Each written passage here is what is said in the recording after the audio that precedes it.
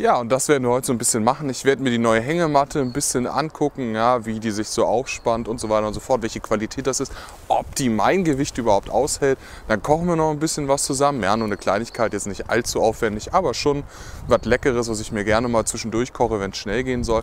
Ja, und ich werde noch ein bisschen was schnitzen, wollte ich auch noch mal. Vielleicht lage ich das auch ein anderes Video aus, das werden wir dann sehen.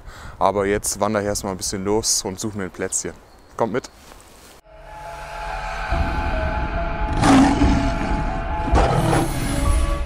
Ja, es hat den ganzen Morgen geschneit. Ich freue mich riesig drüber, anscheinend, und ich habe auch schon ein Bild auf Instagram gepostet.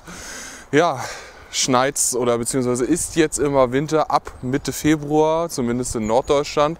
Ich kenne aus einigen Videos und Fotos von euch, von Facebook-Gruppen, Instagram, YouTube und so weiter und so fort, dass natürlich in anderen Bereichen von Deutschland schon deutlich früher viel Schnee gelegen hat. Es hat ja auch schon mal hier vorgeschneit. Naja, so ist das. Und ich dachte mir, hey, es schneit, du musst raus in die Natur. Ja.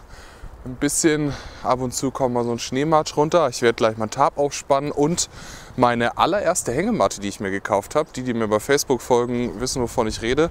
Es war ein kleiner Spontankauf und da gucken wir doch gleich mal, ähm, ob ich als totaler Anfänger das irgendwie hinkriege, die aufzuspannen und so weiter und so fort. Viel habe ich noch nicht gesehen, mal hier und da ein Video über Hängematten, aber jetzt nicht massig Input.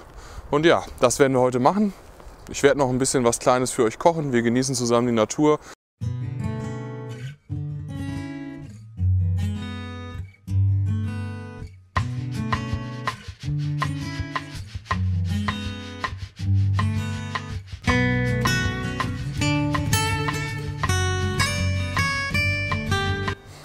So, hier habe ich jetzt ein schönes Plätzchen gefunden. Ich werde jetzt an den zwei Bäumen hier einfach meinen Tab erstmal aufspannen und dann spanne ich die Hängematte drunter. Ich weiß nicht, ob das die richtige Reihenfolge ist, wir werden es gleich sehen, aber ich lege erstmal los. ja, wie ihr jetzt sehen könnt, habe ich die Hängematte ohne Tab aufgespannt, weil es wieder besseres Wetter geworden und ich meine, zur Not kann ich sie auch wieder ja, drüber spannen dann halt gleich. Ja, das ist die erste Hängematte, die ich jemals besessen habe und jemals selber aufgebaut habe. Ah, ist eine 25 Euro Decathlon äh, Spontankauf-Hängematte. Ja. Ähm, für zwei Personen, die große. Ein großer Mann braucht groß Platz. Und ja, ich weiß nicht, ob ich sie richtig aufgespannt habe. Ich habe absolut keine Ahnung. Ja, wie gesagt, Hängematte noch nie gemacht. Nur gesehen bis jetzt. Und mal gucken. Ich habe schon mal drin gesessen und fand das Ganze gerade durchaus bequem und angenehm und sie hat mich ausgehalten. Also eigentlich super. Ja, bis jetzt bin ich zufrieden. Ja, ich fange dann gleich mal an zu kochen, aber erstmal wollte ich noch ein bisschen was anderes machen und zwar ein bisschen mal wieder draußen schnitzen, ja, ein kleines Gefäß machen, was zum Trinken und dann gucke ich mir erstmal nach ein bisschen Holz um, ja, und dann gucken wir mal, ob wir danach schon genug Hunger haben, um ordentlich zu kochen.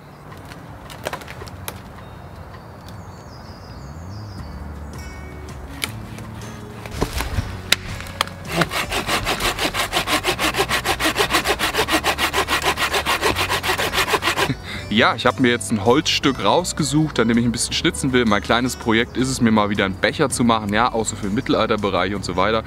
Und während des Schnitzens können wir uns einfach ein bisschen unterhalten. Ich setze mich in die Hängematte ah, und dann kriegen wir die Zeit schon rum freue mich einfach, dass das Ding hier ist. Ne? Ich finde das geil irgendwie, weil ich meine, man kann sich ja nicht nur hinlegen, sondern auch hinsetzen und so weiter. Und das Ding wiegt weniger als mein Klappstuhl, den ich sonst gerne mal mitschleppe, wenn ich es gemütlich haben will auf einer kleinen Buschkrafttour. Ja, mal gucken. Finde ich aber an sich geil. So, und jetzt schnacken wir erstmal eine Runde über zukünftige Projekte. So, ich hoffe, die Kamera ist richtig eingestellt, sieht aber von hier auf dem Bildschirm so aus. Ja, ne? Okay, passt schon. Ja, wie ihr sehen könnt, ich habe echt so eine Riesenhängematte. Ja, ich kann mich sogar hier so hinsetzen. Ja, also richtig, als würde ich auf einer Couch sitzen. Das ist schon, das ist schon Luxus, ne? Also das ist schon deutlich geiler. Natürlich braucht man halt, das ist das Problem, äh, immer Bäume in einem vernünftigen Abstand. Ja? Also es ist nicht so wie mit einem Campingstuhl, den ich halt auf eine Wiese auch stellen könnte. Ne? Das ist halt das andere. Ich habe allerdings auch schon von Hängematten gehört, die mit Trekkingstöcken funktionieren. Technik schreitet ja immer voran, kann sein, weiß ich nicht.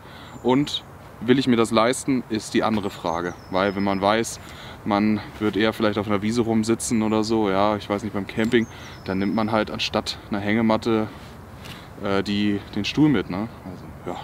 Aber so hier, für meine kleinen Buschkraft-Touren im Wald und so, ja, da ist das schon, da ist schon gut.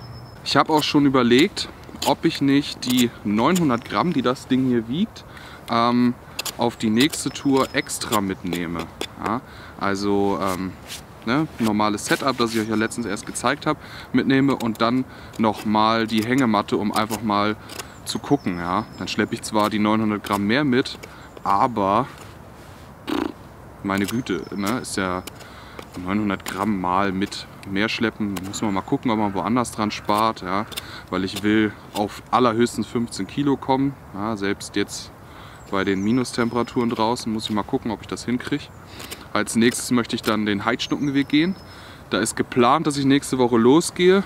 Man kann vor allen Dingen so geil hin und her schaukeln die ganze Zeit. Wie in so einem äh, alter Mann im, Schau im Schaukelstuhl. Die Jugend immer mit ihrem neumodischen Kram. Wir haben noch richtig auf der Erde geschlafen. Ja, keine Ahnung. Ne? Müssen wir mal gucken. Ähm, ja, der Heidschnuckenweg ist ungefähr so lang wie der Westweg. Ich gehe einfach mal los und gucke, ob ich den dann am Stück mache oder nicht. Vielleicht sage ich auch nach drei Tagen, nee, ist mir zu kalt und zu nass. Ja, ich gehe den in Etappen oder nicht. Ich lasse mir das ein bisschen frei und dann gucken wir mal, wie das so funktioniert. Ne? Was hatte ich noch gelesen? Genau, ich glaube, Ziggy Pop hatte bei Facebook gepostet, dass sich irgendwie die Macher von der Outdoor-Messe in Friedrichshafen irgendwie ein bisschen gezofft haben anscheinend. Also es muss ja immer Zoff dahinter sein, wenn die sich so ein bisschen auseinander trennen. Also der Messeveranstalter in Friedrichshafen und die Europäische Kommission für die Planung von dieser Messe, die haben sich irgendwie auseinandergelebt oder sowas, sodass die übernächste, nicht die, die dieses Jahr ist, sondern die übernächste Messe dann in München anstatt in Friedrichshafen ist. Keine Ahnung, ich kenne da keine Hintergründe. Ja, dieses Jahr ist sie dann noch in Friedrichshafen und ja, mal gucken. Ich werde wahrscheinlich dieses Jahr auch eher ohne Kamera hingehen, also nicht groß Video machen, weil ich habe jetzt einmal äh, drei Videos gemacht, ja, die wurden jetzt nicht übermäßig geklickt, aber haben sich schon einige Leute für interessiert. Ähm, aber irgendwie ist ja jede Messe immer ein bisschen gleich. Ja? Ich überlege, ob ich dann so einen Endmesse-Talk mache, wo ich so die Ausrüstungsinteressierten, die sich für Neuheiten interessieren, ja, so ein bisschen ja, mit Infos versorge. Ja? Einfach so ein Zukunftstalk nennen wir es mal. Ja? Wo ich dann einfach sage, so in die Richtung bewegen sich die Rucksäcke und in die Richtung bewegen sich neue Hängematten und was weiß ich, was es nicht alles gibt. Ne? Ähm, aber so ein richtiger Vlog von der Messe, ich glaube, den will ich nicht nochmal machen. Ja? Ich muss mal gucken, das ist so die Tendenz, in die es geht. Aber ich möchte auf jeden Fall hin. Dieses Mal auch früher, so dass ich dann schon den Sonntag mitnehme, ja, der letztes Mal der Haupttag war, wo ich leider nicht da war, was mich ein bisschen geärgert hat, weil so habe ich einige Kollegen verpasst. Ja. Ähm, aber ja, mal gucken. Vor allem habe ich so bei der Hängematte hier hinten die ganze Zeit so eine Nackenstütze, weil das Scheißding echt so groß ist, dass es auch für mich mehr als ausreichend ist. Es ist eigentlich als Zwei-Personen-Hängematte angegeben, wobei ich nicht weiß, warum man sich zu zweit in eine Hängematte reinlegen will. Da merke ich doch jeden Halbumdreher von zum Beispiel meiner Partnerin. Ja? Hm, ich weiß nicht. Das Gute für alle zwei Personen Angaben ist immer, ich weiß, wenn ich etwas nehme, wo zwei Personen draufsteht, dann ist es für mich groß genug. Ja? Weil das andere Ding, das war glaube ich nur 2,20 Meter lang. Ja, und wenn ich darüber nachdenke, ich bin knapp 1,93. Ja, mit Schuhen, wenn man sich mal reinlegt, dann nochmal 5 cm mehr oder so. Ich weiß nicht genau, ist jetzt nicht ausgemessen. Und ähm, dann stößt man da schon sozusagen an die Grenzen. Ja? Das heißt, man braucht schon zu beiden Seiten hin, so wie ich mir das äh, erzählen habe lassen, mindestens eine 15 cm. Ja? So zum Rechnen an den äußeren Enden. Oh ja, ich habe die größere genommen und ich bereue es nicht. Ne? Wo sie natürlich ein bisschen schwerer ist, so wie immer. Ne? Alles, was mehr Platz hat, ist auch schwerer. Ja. Riesenkängurus zum Beispiel, kennt man ja, deren Platzangaben ne? sind immer deutlich höher. Die Känguruindustrie geht daran natürlich ein bisschen zugrunde, weil alle wollen immer nur mehr Platz, aber alle wollen es nicht tragen. Ne? Da ist natürlich ein bisschen kritisch. Ah, schön. Richtig cool, Leute. So muss man das machen. Ja, auch im Winter einfach rausgehen. Ja, ich habe das in letzter Zeit viel zu selten gemacht, weil ich war doch nicht so gesund, wie ich es gedacht hatte. Ja. Ähm, das Harztreffen hat mich wohl wieder zurückgeworfen. Ja. Ähm, nicht, weil das irgendwie großartig anstrengend war, sondern weil sich mein Körper doch noch nicht so doll erholt hatte, wie ich es gehofft und dann gedacht hatte. Ja.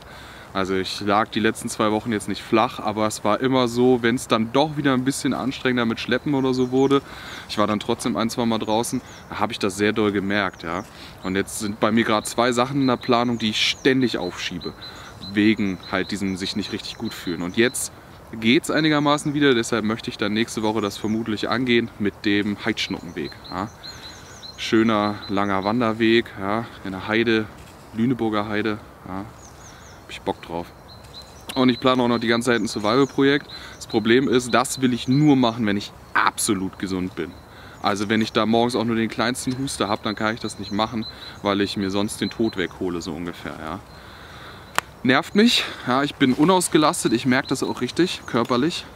Ähm, aber was soll ich machen? Ne? Ich muss halt darauf hören, was mein, mein Körper sagt. Ne? Ich kann nicht einfach sagen, so, und jetzt fahren wir in den Regenwald oder so, ja, und machen da eine 10-Tagestour, wenn ich äh, die ganze Zeit am Husten bin und geschwächte Abwehrkräfte habe. Ne? Das ist halt leider so.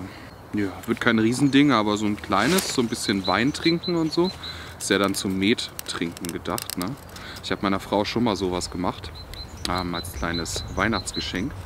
Ähm, und hab's zwar eingeölt, ja, um es zu schützen, aber ähm, man muss es trotzdem, wenn es jetzt nicht mega doll behandelt ist, ich weiß nicht, ob es vielleicht noch einbrennen kann oder so, aber auf jeden Fall ähm, ein paar Schimmelweben. Ja? Nicht großflächige Pilze, sondern so kleine Schimmelweben dazwischen, so im Trinkglas. Ähm, nach, ich glaube, einem dritten Markt, weil man es hat nicht mit nach Hause genommen, sondern stehen haben lassen und dann nicht richtig ausgespült und so weiter und so fort. Das ist halt immer so ein bisschen das Dilemma ähm, mit Holz. Ne? Ist halt kein, äh, wie sag ich, veredeltes Keramik oder was weiß ich, was man so alles zum Trinken nimmt. Kein Edelstahl logischerweise. Da muss man ein bisschen mehr drauf achten. Ne? Gönnen wir uns doch mal ein bisschen Geheimzutat. Ja? Wintergeheimzutat. Ja, jetzt bräuchte man eigentlich noch so einen kleinen Seitentisch, um den da hinzustellen und dann so Sachen draufstellen zu können. Das hätte was, oder? Gibt bestimmt auch. Ich meine, es gibt auch Kamerastative, ja. Und dann sagt man, man nimmt so einen 60 cm Ultralight Carbon irgendwas, ja, ähm, wo dann oben eine kleine Platte drauf ist. Oder man nimmt so Komponenten dafür, wo man so einen Ast einfügen kann. Das wäre natürlich auch noch eine Sache, ja, weil dann müsste man das Gewicht nicht immer mit rumschleppen und man könnte draußen in der Natur immer ein bisschen was basteln. Vielleicht kennt da ja einer von euch irgendwas oder kann mir da irgendwas empfehlen. Das interessiert mich schon. Natürlich wäre jetzt das Problem, wenn man jetzt, also wenn es jetzt wirklich regen würde, könnte ich ja so nicht filmen, habe ich gerade überlegt. Ne? Weil so wie ich das Tarp abspanne mit einem Dreieck, außer man spannt es so hoch ab, dass es erst hier anfängt. Ja? Das wäre aber selbst für mein hohes Abspannen, was ich gerne mal mache, krass, weil ich spanne ja ungefähr so, dass das Tarp so hier anfängt, so ab. Oder man spannt es schon ab, lässt aber so eine Seite offen, ja, dass man so reingucken könnte. Ja, ja, ja, ja. Überlegungen, ja, dass man möglichst ein schönes Bild hinkriegt und ich trotzdem die Natur genießen und mit euch quatschen kann. Ja, darum geht's ja. An dieser Stelle übrigens ähm, einmal ein herzliches Moin Moin an alle, die seit der letzten Bushcraft-Tour, die ich auf diesem Channel veröffentlicht habe, ähm, dazugekommen sind. Moin erstmal, schön, dass ihr da seid, schön, dass du da bist. Ja. Ähm, dich erwartet ungefähr immer das, ja, rausgehen in der Natur, ähm, mit der Natur, ja. äh, Wanderungen, Ausrüstung, Tipps, und äh, kleine Experimente hier und da. Ja. Ich habe mal Schussexperimente ein bisschen hier und da gemacht und möchte damit im Sommer auch wieder ein bisschen mehr machen. Mal gucken, wie ich das hinkriege. Ja. Mit Bogen und so weiter. Ich habe auch ein Bogenvideo gemacht, wie man so als Bushcrafter hier draußen so ganz einfach ein bisschen mit dem Bogen schießen könnte. Ja. Natürlich nur auf äh, tote Bäume, wenn überhaupt. Ja. Und alles mögliche weitere. Einfach mal durchstöbern. Ja. Ich habe, glaube ich, mittlerweile habe ich 100 25 Videos veröffentlicht. An dieser Stelle muss ich einmal sagen, dass ich mich megamäßig freue, dass der Benjamin Klausner gerade wieder aktiv wird. Ja, ich habe das vermisst. Ja, ähm, vor allen Dingen mit seinen Leidenschaften Kochen, ja, Schnitzprojekte und alles Mögliche. Er ist ja sozusagen der größte deutsche, beziehungsweise im deutschsprachigen Raum, Natur-Bushcrafter sozusagen. Ja, es gibt ja immer Bushcraft. Ja. Manche sagen ja auch, äh, ne, Bushcraft ist dieses und jenes, aber ich sag mal, deren, also mit Benjamin Klausner verbinde ich ein bisschen mehr naturnah als ähm, jetzt vielleicht ich das zum Beispiel immer mache. Ja? Also ich meine, ich nehme mir auch mal einen Klappstuhl mit oder sowas. Ja?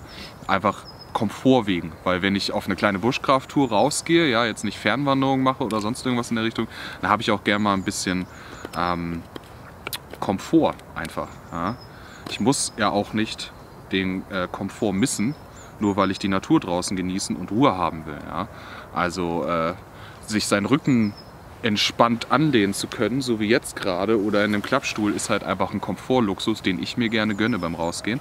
Ähm, und ja, deshalb freue ich mich, dass der Benjamin wieder da ist, weil der macht einfach immer klasse Top äh, Kochvideos ja? Und auch gerne mal Schnitzvideos und so richtig Buschkraft, Trapper-mäßig und all solche Geschichten.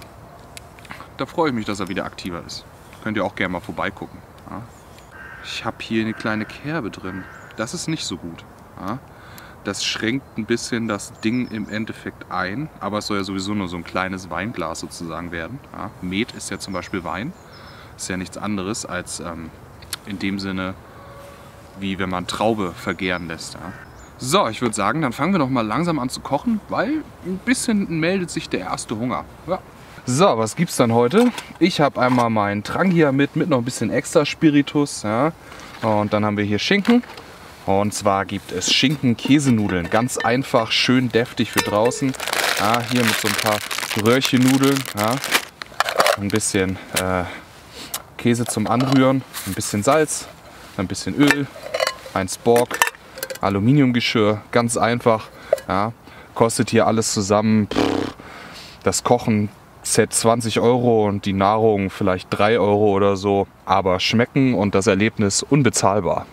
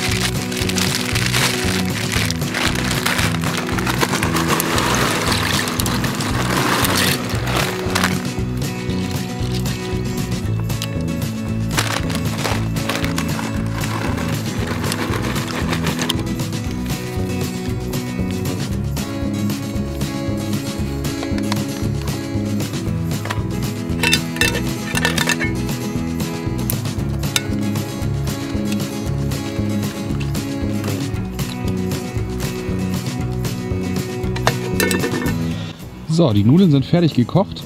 Und jetzt habe ich ein bisschen die Käsesoße dazu gegeben. Ja, das Pulver und Schinken. Ganz einfach, ist eigentlich überhaupt nichts Besonderes. Aber schnell mal zum draußen kochen, absolut perfekt. Und meiner Meinung nach deutlich besser als diese abgepackten Trekking-Nahrungsdinger und günstiger. Ja, wunderbar, Leute. Es setzt schon langsam so ein bisschen ganz leicht die Dämmerung ein. Ja, es wird immer dunkler im Wald. Ich habe mein Essen fertig und das werde ich jetzt erstmal ein bisschen genießen.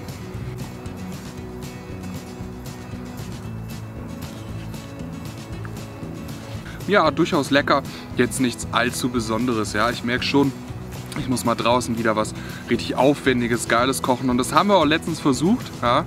Ähm, wir waren extra auf einem halböffentlichen Grillplatz, ja, ein bisschen außerhalb halt so dass da keiner hinkam, vor allen Dingen im Sommer nicht. Ja. Aber ich habe es um Verrecken nicht geschafft, bei minus 5 Grad mit total nassem Holz irgendwie nachhaltig ein großes Feuer anzumachen, um damit richtig groß kochen zu können. Ich hätte mir natürlich auch einen Trang hier mitnehmen können, aber ich wollte es halt mit dem Großen machen, deshalb habe ich keinen Ersatz Kochgerät dabei gehabt und so weiter und so fort. Naja, aber es ist in Planung und das nächste Mal wird es gemacht und dann schaffen wir das. Hier übrigens ein paar kurze Bilder von dem Platz, weil da war es echt schön. Da werden wir auf jeden Fall nochmal hingehen. Es hat mir auf jeden Fall trotzdem dort ziemlich viel Spaß gemacht.